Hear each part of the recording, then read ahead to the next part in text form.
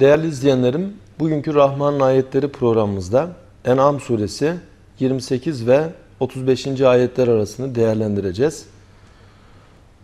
Allahu Teala bundan önceki ayetlerde kafirlerin diğer alemdeki durumlarına dikkat çekti ve onlar ateşle karşı karşıya kalınca aman ya Rabbena diyorlar. Bizi tekrar dünyaya döndür, istediğin gibi kul olalım ve sana teslim olan kimseler olalım. Acaba e, dünyaya dönseler e, gerçekten dedikleri gibi yaparlar mı? Bunun devamında da Cenab-ı Hak şunu bildiriyor. Bel beda lehum onlara zahir oldu ortaya çıktı. Ma kanu yuhfuna min qabl daha önceden gizledikleri şey bu şekilde ortaya çıktı. Velev ruddu le'adu limanuhu anhu şayet onlar dünyaya döndürülse tekrar kendilerinin yasaklanmış oldukları şeylere avdet ederlerdi. Tekrar eski hallerine dönerlerdi. Ve innahum lekâzibun ve onlar gerçekten yalan söylüyorlar. Demek ki onların tekrar dünyaya gelmeleri, dönmeleri e, onları kurtaracak bir durum değil. Gelmeyecekler ama şayet gelecek olsalardı yine eski hallerine devam ederlerdi. Bunu belki şöyle daha iyi anlayabiliriz. Şu dünyada da insanlar zaman zaman Allah'a söz veriyorlar. Diyelim bir deprem olurken aman ya Rabbi der insanlar. Camiler tıklım tıklım dolar. Veya bir trafik kazasından sonra insan daha böyle dindar olur. Veya diyelim bir deniz yolculuğunda dağlar gibi dalgalar her tarafı kapladığında oradaki insanlar aman ya Rabbi bizi karaya dönder, bizi buradan kurtar. İstediğin gibi kul olacağız derler. Cenab-ı Hak onlara fırsat verir, mühlet verir. Bu zor durumlardan kurtarır, selamete çıkarır. Ama o insanlar verdikleri sözleri unuturlar. Tekrar eski hayatlarına, eski gafletlerine, eski günahlarına devam ederler. Demek ki velev cehennemi de görse, tekrar dünyaya dönse yine nefsine uyacak, şeytana uyacak. Onlar bu e, e, tıynette, bu tabiatta olan kimseler. Ve ve onlar de, dediler inhi inhiye illa hayatuna dünya yani sadece ve sadece dünya hayatımız var. Yani bunlar ahirete inanmayan kimselerdi. Ve bunlar diyorlardı ki hayat sadece şu dünya hayatıdır. Ahiret diye bir hayat yoktur. Ve ma nahnu bimeb'uthin ve biz diriltilecek, Allah'ın huzuruna götürülecek değiliz. وَلَوْ تَرَى اِذْ وُقِفُوا عَلَى رَبِّهِمْ Sen onları Rablerinin huzurunda e, durduruldukları zaman onları bir görsen. Hani bazı böyle büyük e, caniler olur. Uzun zaman bunlar kaçarlar ama sonunda yakalandıkları zaman yaka paça süklüm püklüm vaziyette hakim karşısına çıkarılırlar. Orada başları öndedir. Diğer alemde Nemrut gibi, Firavun gibi e, kimseler, onların yolundan gidenler, Allah'a kafa tutan, Allah'a açıktan isyan eden bu kimseler alemlerin Rabbinin huzurunda süklüm püklüm perişan bir vaziyette durdurulacaklar. Ve dünyada üzerlerinde görünüşte bir izzet elbisesi vardı. O izzet elbisesi artık söz konusu değil, tamamıyla bir zillet elbisesi, perişanlık elbisesi onlara giydirilecek. Ve bütün mahşer halkının önünde en zelil bir vaziyette bulunacaklar. İşte sen onları Rablerinin huzurunda durdurulurken bir görsen. Gale eleyse hâzâ bil hak. Allah onlara der ki bu hak değil mi? İşte benim huzuruma gelmeniz, öldükten sonra dirilme hak değil mi? Galu bela ve rabbina derler ki ya Rabbi yemin ederiz gerçekten bu hak. Gale fezugul azabe bima kuntum tekfurun. Allah şöyle buyurur. Öyleyse inkarınıza mukabil, küfranınıza mukabil tadın azabı.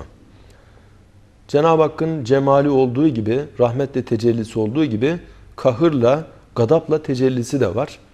Cenab-ı Hak ehli imana lütfuyla, keremiyle tecelli ediyor ve onlara cenneti veriyor. Ama ehli küfre ise Allahu Teala bu şekilde e, cehennem azabını veriyor ve onları cezalandırıyor.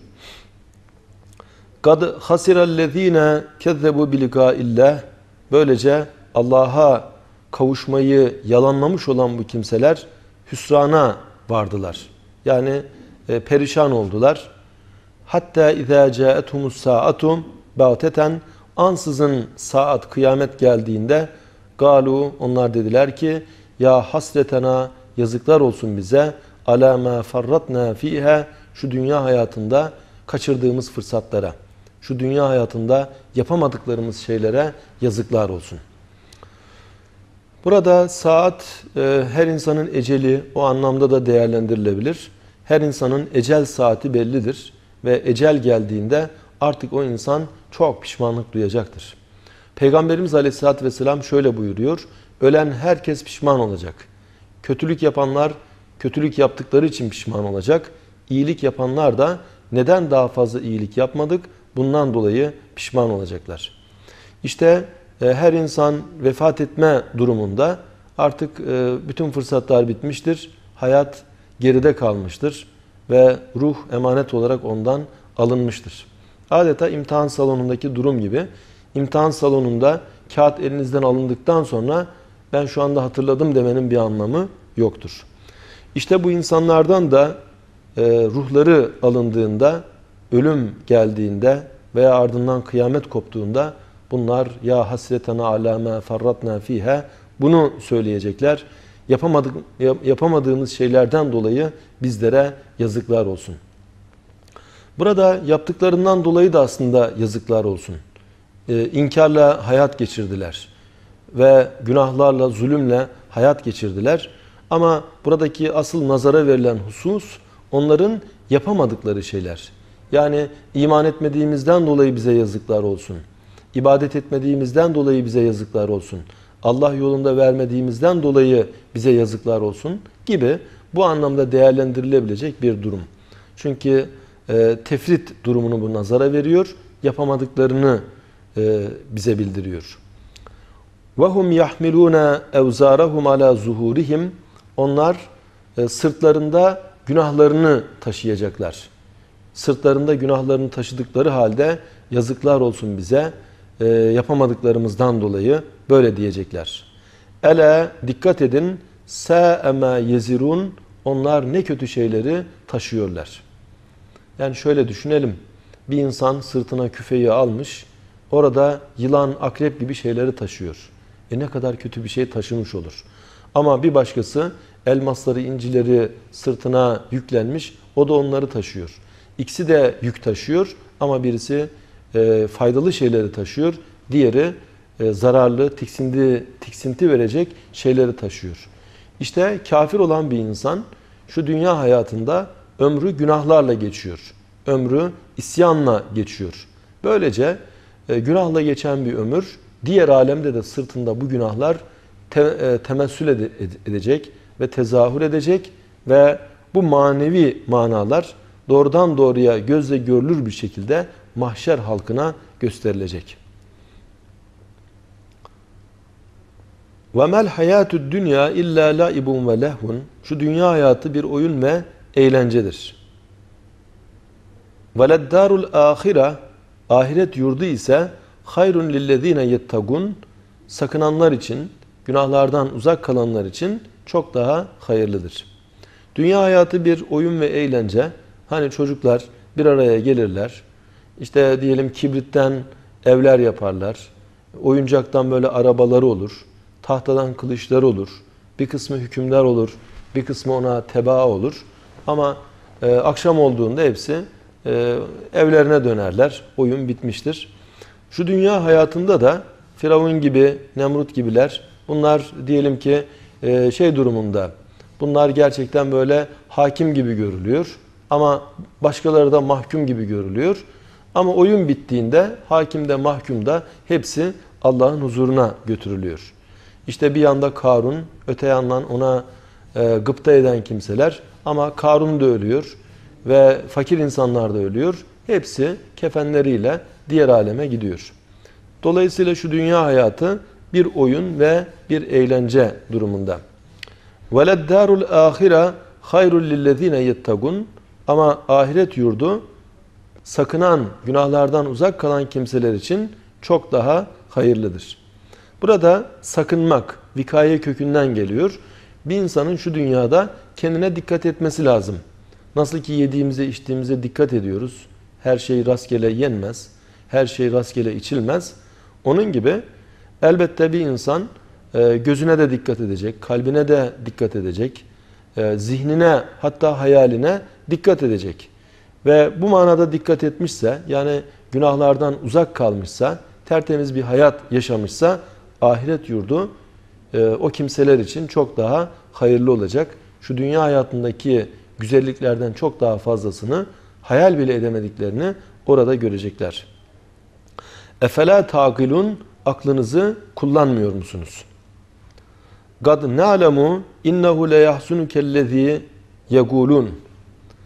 E, biz elbette şunu bilmekteyiz. Onların demiş olduğu şeyler seni üzüyor. Burada Peygamber Efendimiz'e bir hitap var. Çünkü en fazla belaya, musibete maruz kalanlar başta peygamberler. Allahu Teala gerek peygamberimizi gerek diğer peygamberleri teselli de ediyor. Onların gamlı ruhlarını bu şekilde ferahlandırıyor ve onları rahatlatıyor. İşte peygamberimize mesela diyorlar ki sen bir şairsin veya diyorlar ki sen mecnunsun veya diyorlar ki e, sen bir kahinsin demediklerini bırakmıyorlar. Elbette onların bu sözleri Peygamberimiz Aleyhisselatü Vesselam'ın hassas kalbini rencide etmekte. Ama Cenab-ı Hak e, kelamıyla teselli veriyor ve bildiriyor ki e, onların sözleri e, seni üzüyor bunu bilmekteyiz. فَاِنَّهُمْ لَا يُكَذِّبُونَكَ Onlar seni tekzip etmiyorlar. Onlar seni yalanlamıyorlar. وَلَاكِنَّ الظَّالِم۪ينَ بِآيَاتِ اللّٰهِ يَجْحَدُونَ Lakin o zalimler Allah'ın ayetlerini inkar ediyorlar. Yani burada Allahu Teala tabir yerindeyse e, mesele seninle alakalı değil, doğrudan Allah'a imanla alakalı. Buna dikkat çekiyor ve bildiriyor ki e, onlar sana yalancısın demiyor. Ancak sana geleni inkar ediyorlar. Sana gelenin e, Allah kelamı olduğunu, senin peygamber olduğunu inkar ediyorlar. Yoksa malum Peygamberimiz Aleyhisselatü Vesselam'a müşrikler Muhammedül Emin diyorlardı. Onun doğru olduğunu her biri vicdanen biliyordu. Ve kıymetli mallarını Peygamber Efendimiz'e teslim ediyorlardı. Öyle ki Ebu Cehil Peygamber Efendimiz'e şunu söylüyor. Diyor ki ya Muhammed biz sana yalancısın demiyoruz ama biz sana geleni inkar ediyoruz. Bu noktada Allahu Teala Peygamber Efendimiz'e teselli e, verici ifadelerle gönlünü taltif ediyor. وَلَقَدْ كُذِّبَتْ رُسُلٌ min gablik Senden önce de nice peygamberler yalanlandı. فَصَبَرُوا عَلَى مَا كُذِّبُوا Onlar bu yalanlanmalarına mukabil sabrettiler. Ve uzu ve onlar ezaya maruz kaldılar. Hatta etahum nasruna sonunda bizim yardımımız onlara geldi. Demek ki e, bu Allahu Teala'nın peygamberlik e, müessesesi içinde, peygamberleri içinde bir kanunu gibi. Daha önceki peygamberler de yalanlandı. E, aynı akibete Peygamber Efendimiz de maruz kalıyor. Hatta peygamber varisi durumunda olan o yolda giden kimseler de değişik ithamlara maruz kalırlar. Ama sabrederler ve neticede Allah'ın yardımı gelir. وَلَا مُبَدِّلَ لِكَلِمَاتِ اللّٰهِ Allah'ın kelime, kelimelerini tebdil edecek yoktur. Yani Allah'ın kelimelerini kimse değiştiremez. وَلَقَدْ جَاءَكَ min nebe'il murselin e, Muhakkak ki sana peygamberlerin haberlerinden geldi. Yani Kur'an'da e, kıssa olarak anlatılan şeyler senin hayalinin mahsulü şeyler değil, taraf ilahiden sana bildirilen yaşanmış kıssalardır. Peygamberlerin doğru haberleridir. Ve imkâne kebura aleyke iraduhum eğer onların yüz çevirmeleri sana ağır geliyorsa fe in istetate şayet yapabilirsen en tebtagiye nefagan fil art e, yerin derinliklerinde tünel açmak ev süllemen fis sema veya semaya merdiven dayamak bunları yapabilirsen fete'tiyehum bi aye yapıp da onlara bir ayet getirebiliyorsan getir. Burada yani ayetler Allah'tandır. Mucizeleri Allah verir. Sadece peygamberin istemesiyle hemen bu meydana gelmez. Bu noktaya dikkat çekiliyor. Evet sen onların seni yalanlamasından ve senin dininden yüz çevirmelerinden rahatsızlık duyuyorsun. Ama buna mukabil e, yapabileceğin bir şey varsa yap İşte yerin dibinden veya göğe merdiven dayamak suretiyle e, bir ayet getirebileceksen getir. Ama getiremezsin gibi bir mana burada kendini hissettiriyor. Ayetler Allah'tandır. Yani sana düşen sabretmektir. Allah'ın dinini tebliğ etmektir. Ayetleri göndermek, mucizeleri, harika şeyleri göndermek, özel bir yardımla, inayetle sana yardım etmek bu Allah'tandır. وَلَوْ شَاءَ اللّٰهُ لَجَعَلَهُمْ عَلَى الْهُدَى Şayet Allah dilese onları hidayet üzere kılardı. فَلَا تَكُونَنَّ مِنَ الْجَاهِلِينَ Sakın bunu bilmeyenlerden olma. Burada gerçekten çok ince bir nokta var. Şayet Allah dilese kafir diye bir topluluk olmazdı. Melekler içinde kafir yoktur. İnsanlar da melekler gibi olurdu.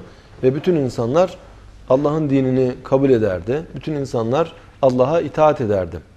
Ama Allahu Teala e, insanlık aleminde renklilik murad etmiş. Ve insanları hür irade sahibi yapmış. Ve bunun neticesinde o insanlar e, istediklerini yapabiliyorlar. Dilerse iman, dilerse küfrü tercih edebiliyorlar. İster itaat, ister isyan yapabiliyorlar. Aynısıyla mümkün değil ama insanların yaptıkları robotlar da bunun belki bir misali gibi. Robotlara insanlar şu anda yapay bir zeka bırakabiliyorlar ve robot kendisi kendine verilen program çerçevesinde bir tercihte bulunabiliyor. Bu neticede yine de e, insanın ona e, yüklemiş olduğu programın bir tezahürüdür. Robotların tümüyle hür olmasından söz edemeyiz. Ama misali biraz daha ileriye götürdüğümüzde Allah canlı e, robot yapmıştır. Bizleri yapmıştır. Biz insanları yapmıştır. Ve bize yüklemiş olduğu programda iman etmek de vardır, küfürde bulunmak da vardır. Veya e, diyelim itaat etmek de vardır, isyan etmek de vardır. Bu noktada insan hür bırakılmıştır. İmam Gazali diyor ki, insan hür olmaya mecburdur.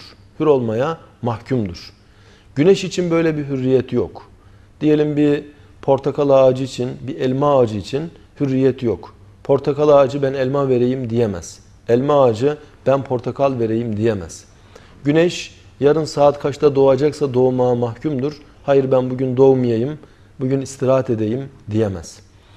Bunun gibi e, daha diğer canlılara baktığımızda bunların her birinin yaptıkları belli görevler vardır. Bunun başka şekli düşünülemez. Ama insanlık alemi öyle değil. Bu insan imanı tercih edebilir ama küfrü de tercih edebilir. Bu insan iyiliği tercih edebilir, kötülüğü de tercih edebilir. Aynı insan cömert olabilir, çok cimri de olabilir. Dolayısıyla insanın mahiyet tarlasında hem iyilik hem de kötülük tohumları beraberce derc edilmiş. İnsan bunlardan hangisini beslerse o yönde gelişiyor. Cömertlik duygularını besleyenler çok cömert insan haline geliyor. Cimrilik duygularını besleyenler gerçekten çok cimri bir hale geliyor. Veya diyelim sadakat ve hıyanet. Bu insan çok sadık da olabilir, çok hain de olabilir. Bir kısmı sadakati seçiyor, bir kısmı hidayeti tercih ediyor. Daha diğer insandaki duyguları bu anlamda değerlendirebiliriz. Bu bize şunu gösteriyor. Demek ki bu insan hem iyilik yapabilir, hem kötülük, hem imanı tercih edebilir, hem de küfrü tercih edebilir. Dolayısıyla Allah dilese bütün bu insanları tek bir ümmet yapardı. Hepsini hidayet üzere yaratırdı. Melekler gibi yapardı. Ama böyle dilememiştir. Renkliliği murad etmiştir. Ve bunun neticesinde her bir insan adeta müstakil bir alem gibi şu dünyada farklı bir hayat yaşamakta, diğer aleme gitmektedir. Cenab-ı Hak bizlere daimi hidayet, daimi istikamet nasip eylesin. Bir başka programımızda tekrar beraber olmak ümidiyle hepinize hayırlı günler, hayırlı geceler diliyorum. Música